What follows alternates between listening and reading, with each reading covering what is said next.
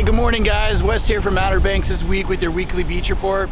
I was just out at Byrd Street Beach Access in Kitty Hawk this morning, and boy golly, it is a perfect morning out here. It's about as good as you can get this morning.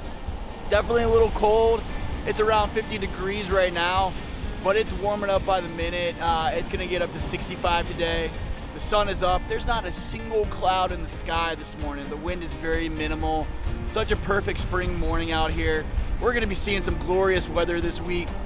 Most of the temperatures this week we're gonna be seeing in the 70s uh, after today. Uh, today's gonna to 65, 70s for the next few days. Might drop down for a little bit there. I do see some rain between Thursday and Friday, but it's gonna shape up by the weekend and it's gonna be spectacular out here. There's a lot of great stuff happening all around the Outer Banks this week. Today, we have the eclipse. If you're trying to see that, make sure you got the proper eyewear for it. Uh, it's gonna start around two o'clock. The peak of it's gonna be a little after three, I believe, and then it's gonna total off by four o'clock. But we should have perfect conditions for today. So make proper arrangements for that this afternoon. It's gonna be great. Mike Dianna's Grill Room uh, up in Corolla is serving a four-course wine dinner on Wednesday this week. We got Taste of the Beach, huge food event going on Friday through Sunday this week.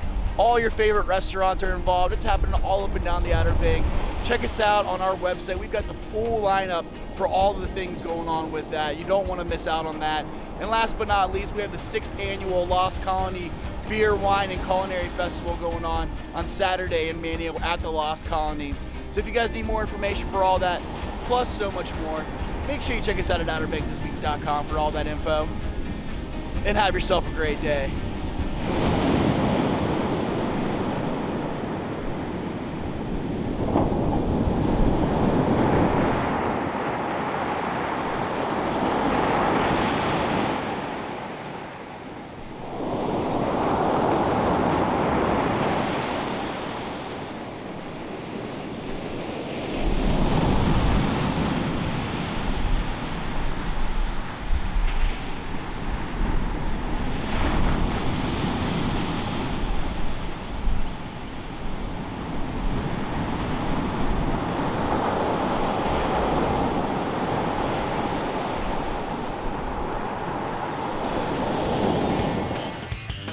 OuterBanksThisWeek.com.